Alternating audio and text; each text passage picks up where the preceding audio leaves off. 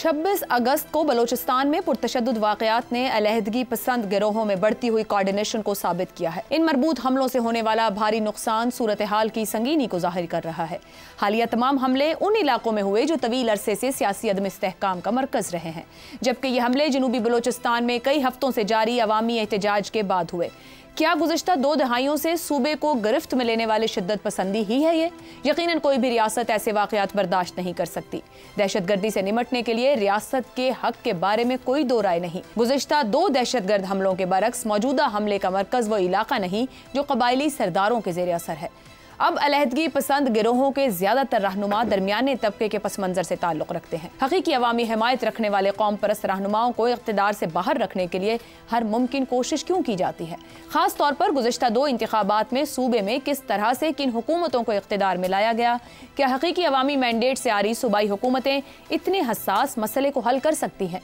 किसी भी इलाके में उसकी आबादी को अलग थलग करके दहशत गर्दी का मुकाबला नहीं किया जा सकता।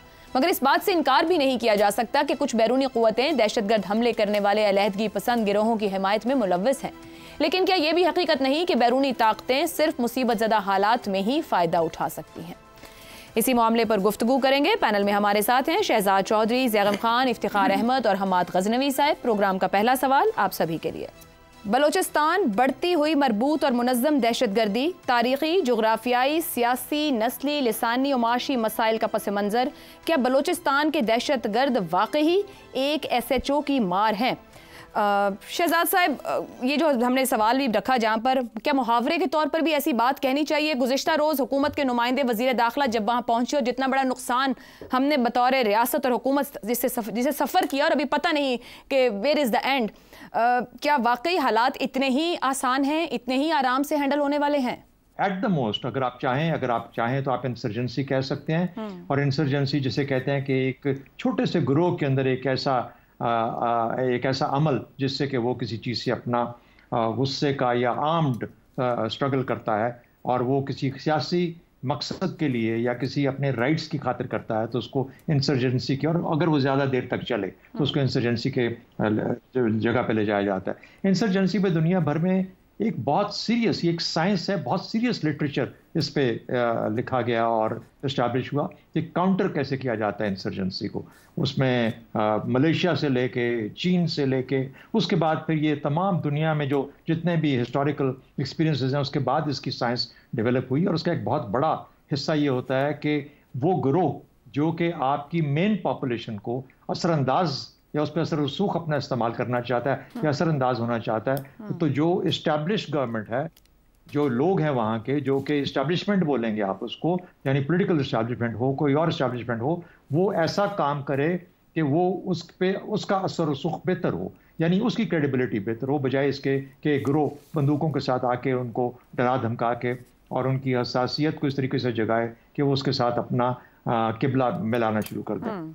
तो इंसर्जेंसी या काउंटर इंसर्जेंसी की चंद असूल हैं जिनको के फॉलो करना होता है। आ जाइए इस चीज़ के ऊपर कि जब आप ये बात कहते हैं कि एक एस एच ओ का काम है तो असल में आप एक काउंटर टेरर की टर्म के अंदर बात कर रहे हैं। हाँ टेररिस्ट के ग्रोह को, किसी ग्रुप को, वो जो कि कुछ छोटे से इलाके में एक आके बम करना चाहता है, कुछ करना चाहता है, या कोई कत्ल वारत करना चाहता है उसको एस एच ओ को एक ज़िम्मेदारी दी जाती है कि वो अपना रोल अदा करे। उसके बावजूद कि इंटेलिजेंस का एक बहुत स्ट्रांग ऑपरेशन में भी चाहिए होता है। तो मेरा ख्याल है कि वो वो ज़ुबान इस्तेमाल कर रहे थे जो कि के पी में तो इस्तेमाल की जा सकती है, लेकिन बलूचिस्तान के मामले में शायद वो हरगज़ हरगज़ मुनासिब नहीं थी। फिर ये याद रखें कि बहुत सारे लोग यूनिफॉर्म में एफ़ सी के जो कि और और मिलिट्री के अंदर यूनिफॉर्म में। एक ऐसी ऑर्गेनाइजेशन जो कि एक बहुत डिटेल्ड तरीके से इस पूरी मुहिम के अंदर शामिल हैं। उनकी शहादतें होती हैं। तो फिर वो एस एच ओ साहब कहाँ थे कि वो शहादतें नहीं रोक पाए उस दिन? तो थोड़ा ख्याल थोड़ा सा ज़रा उनसे गलत बयानी या गलत चीज़ हो गई। लेकिन उससे आगे बढ़ के मुझे बताइए कि पिछले 20 साल में या कम से कम आप कितने 16 साल हो गए 2008 के बाद तमाम प्रोविंशियल गवर्नमेंट्स बलोचों ने हेड की हैं सियासी हुकूमतें हैं। चाहे मैंगल साहब हों, चाहे कोई और हो, चाहे डॉक्टर मालिक हों या जाम कमाल थे या कोई और थे, नबी बख्श जहरी थे, ये सब के सब इलेक्ट होके वहाँ तक पहुँचे। इलेक्टेड लोग थे रिप्रेजेंटेटिव्स थे। इनको एनएफसी के मुताबिक पैसे मिले। ये जो एनएफसी के अवार्ड्स उनमें कोई कमी नहीं हुई, बल्कि ये कोशिश की गई कि ज़्यादा दिए जाए। एक आगाज़ हकूक़ बलोचिस्तान का मामला हुआ। उसके बावजूद अगर कोई एहसास पाया जाता है किसी इलाके में बलूचिस्तान के अवाम में कि उनके पास वो उनके जो हकूक हैं जो कि एक ज़िंदगी के अमन अमा अमा के उनकी सहूलियात की बुनियादी सहूलतें तालीम और सेहत ये चीज़ें नहीं पहुँची तो हमें फिर सोचना पड़ेगा कि ये जो हमारे तमाम चीज़ें जो रिसोर्स प्रोवाइड की ये क्यों वहाँ तक नहीं पहुँच पाई? और मैं इसकी वजह बता देता हूँ आपको क्यों नहीं पहुँच पाती। इसलिए जब एक सूबा एक तिहाई पाकिस्तान के बराबर है तो वहाँ पे हर जगह पे पहुँचना और सिर्फ़ बारह मिलियन एक करोड़ बीस लाख लोग हैं वहाँ पे सिर्फ़। तो एक करोड़ बीस लाख और एक तिहाई पाकिस्तान वहाँ तक पहुँचना शायद इस कंस्ट्रक्ट के नीचे जो कि इस वक्त आपका सूबाई कंस्ट्रक्ट है इसके साथ सुबह क्या क्या आप लोकल गवर्नमेंट्स को लेके आते क्या वो बेहतर तरीका था उसको करना चाहिए था क्यों नहीं कर पाए? सबसे बड़ा सवाल ये पैदा होगा लोकल बॉडीज़ का। और अगर मैं थोड़ा सा आगे जाके बात करूँ थोड़ा सा और आगे जाके बात करूँ तो जहाँ पे इतनी मुश्किल बढ़ जाती हैं वहाँ पे सूबों का कंस्ट्रक्ट भी चेंज किया जाता है। यानी मैं तो बड़े अरसे से कह रहा हूँ कि पाकिस्तान के तमाम डिविजन के लेवल के ऊपर हमें सूबे बना देने चाहिए ताकि गवर्नेंस उस जगह पे जाए जहाँ पर लोगों को गवर्नेंस की मौजूदगी का एहसास हो। वरना क्या होता है जब आपको ये आपको एलिनेशन होती है एलिनेशन की वजह ये होती है कि हुकूमत अपनी गवर्नेंस के साथ वहाँ तक नहीं पहुँच पाती जहाँ पे ये मामला होते हैं। ये हमारी गवर्नेंस का फेलियर है। ये पाकिस्तान के तमाम निज़ाम का फेलियर है और उस गहराई और सोच का जिसको कि तमाम चीज़ का इस्तेमाल होना चाहिए था। कि किस वजह से हम इस नहज पे पहुँचे हुए हैं बड़े अरसे से ये उनका फेलियर है। तो इसको तो उस सेंस में देखना चाहिए ये ज़ोर और बंदूक के साथ सिर्फ़ हल नहीं किया जा सकता। इफ्तार साहब गुजशत दहाइयों में मामला जहाँ तक आ गया जितना कोऑर्डिनेटेड ये 24 और 25 को एक्शन किया गया है वहाँ पर। बहुत सी सड़कें बंद की गई रेल रबता मुनता किया गया और जो टारगेट्स जिस तरह से बकौल वो लिए गए आपके ख्याल में जो मुसल्ला तहरीक मौजूद है एक तो देखा जाए तो कबायली सरदारों तक ही इशू रह गया या मिडिल क्लास तक ये मामला पहुँच गया है, जो रिएक्ट कर रही है। वज़ीर आज़म वज़ीर दाखिला वज़ीर अला की जानब से जो बयान दिए गए, रस्मी बयान हैं या कोई ठोस हल भी मौजूद है, जिस तरह शहजाद साहब ने भी जहाँ के कंक्लूड किया। शहजाद साहब ने जो कहा उससे बेहतर बात नहीं की जा सकती इस इशू पर। देखें, ये जो तासर दिया जा रहा है ना कि उनको कोई ऐसी ताकत, उनके हकूक़ छीन रही है और उसके नतीजे में वो एक ख़ास ज़बान बोलने वालों को ज़िबा करते हैं ये गलत है। एन अवार्ड जितना दूसरे सूबों को मिल रहा है जिस हिसाब से, जिस फार्मूले के तहत, वैसा एन अवार्ड इनको भी मिल रहा है। अगर वहाँ पे स्कूल अच्छे नहीं हैं, अगर वहाँ पे तालीम अच्छी नहीं है, अगर वहाँ पे नौकरियाँ बेची जा रही हैं, अगर वहाँ पे नौकरियाँ नहीं मिल रही हों लोगों के साथ ज़्यादती हो रही है तो ये सूबाई मसला है। और बलूचिस्तान सिर्फ़, ये बलोची आवाम पर मुश्तमल इलाका नहीं है, वहाँ पे पख्तून भी रहते हैं, ब्रोवी भी रहते हैं, पंजाबी भी रहते हैं। 1970 के बाद आज तक जो वन यूनिट जिस दिन टूटा, ये सुबह उस दिन के बाद 1973 के कॉन्स्टिट्यूशन के अंदर खड़ा है। एन एफ़ सी वार्ड के अंदर वो शामिल है। और अठारहवीं तरमीम के बाद ये हक दे दिया गया कि जो भी उनके वसाइल हैं, खा वो आबी हैं, खा वो मादनियात से मुतलक हैं, गैस से मुतलक हैं द फ़र्स्ट राइट उस सूबे का है। तो मुझे समझ नहीं आती कि हम लोग क्यों नहीं इस बात को तस्लीम करते कि गवर्नेंस की नाकामी है। और ये गवर्नेंस की नाकामी सिर्फ़ उस सूबे में नहीं है, पूरे मुल्क में गवर्नेंस की नाकामी है ये। इसको हमें ऐसे देखना चाहिए। उन्होंने ये हरकत क्यों की है? उन्होंने हरकत इसकी भी की है कि तमाम जो आपकी शराहें हैं उनको बंद करें। दस, बड़ी शराहों को उन्होंने बंद किया ताकि मूवमेंट ना हो सके, चीज़ें ना जा सकें। उन्होंने आपका ब्रिज गिरा दिया। सर कैसे कर गए मैं सुन, सुन लो ना मैं जवाब देता हूँ। जो सवाल आपको उलझन में डाल रहे हैं उसका भी जवाब मैं दूँगा। उन्होंने ब्रिज गिरा दिया।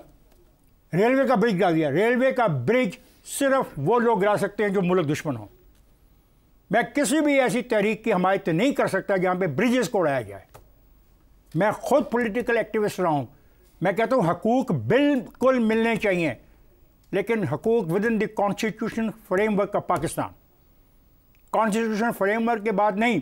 और बिल्कुल सरदार साहब ने कहा कि कौन वहाँ पे हुक्मरानी में है? मेंबर कौन है पार्लियामेंट के? सूबाई मेंबर कहाँ से आते हैं? कौमी असम्बली में मेंबर कहाँ से आते हैं? सेनेट के मेंबर कहाँ से आते हैं? क्या वहाँ पे गवर्नर और चीफ मिनिस्टर बाहर से आते हैं?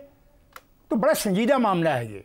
और हिंदुस्तान ने जो अटैक किया हमारे पर थ्रू अफ़गानिस्तान की जो हमारी सरहद है मुश्तर ये हमारी एक ऐसी बैली है जो बड़ी वीक जगह है। वहाँ से उसने हमला किया है। कुलभूषण कहाँ से गिरफ़्तार हुआ था? और कुलभूषण कौन है? और कुलभूषण के बनाए हुए और तरबियत याफ्ता लोग कौन है? एक सवाल है। आप इलेक्शन को बड़ी अहमियत देते हैं और हर बात को भी आपने कहा कि नुमाइंदे उनके आते हैं लेकिन एक वहाँ की भी रियलिटी है। क्या जिस तरह शहजाद साहब ने बोला जिस तरह के भी नुमाइंदे उनके जो जिस तरह के भी नुमाइंदे हैं क्या पोलिटिकल कनेक्ट मौजूद है वहाँ की आवाम का लोगों के साथ? या उन नुमाइंदों के साथ पोलिटिकल कनेक्ट बहुत अच्छी बात की शहजाद साहब ने कि आप तो ख़त्म किए बैठे ना सारे मामले को आपने तो दे दिया। उनके उन छोकरों के हाथ में ये सारा कुछ। ठीक है? मैं देने को तैयार नहीं। मैं कहता हूँ कि ये लोग हकूक़ की जंग लड़ ही नहीं रहे। हकूक़ की जंग होती है तालीम के लिए सेहत के लिए नौकरी के लिए अपनी बेहतरी के लिए अवाम की बेहतरी के लिए। उसमें कौन सा मुतालबा ऐसा है? और ये बात देखें पूरी दुनिया ने हाँ इसको कंडेम किया है। अकवाम मुतदा ने कंडेम किया है। हम्म। यूरोपीय यूनियन ने कंडेम किया है। हम्म। चीन ने कंडेम किया ईरान ने कंडेम किया अमेरिका ने कंडेम किया इनको। तो उन्होंने बिलावजह तो कंडेम नहीं कर लिया ना।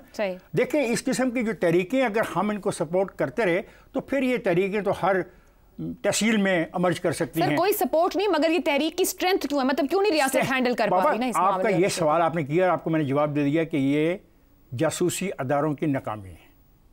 आपने ये सवाल कल तक जो बात हमारे हुक्मरान कहते थे चंद सरदारों की बात है अब ये मिडिल क्लास के अंदर यूनिवर्सिटी स्टूडेंट है। खातून है जिसने हमला किया यूनिवर्सिटी की कहानी अगर मैं बताऊँ तो फिर लंबी प्रोग्राम हो जाएगा। एक सेकंड फिर ने खातून की बात कर दी ना सुने वो खातून का सारा खानदान सियासी है। His father his chacha everybody has been participating तो सियासी रास्ता लेते वो इस रास्ते तो में मुझे ये तो फिर नहीं आपने तो सवाल ऐसे कर दिया कि शायद को मिडिल क्लास की उनका तो खानदान है ना नहीं हुआ क्या? ये हमारी बच्ची ने किया क्या? और वो वो they they have been a part and parcel of that system ठीक है। जैसा भी सिस्टम है बुरा है अच्छा नहीं है उस सिस्टम का वो हिस्सा रहे हैं। ठीक है।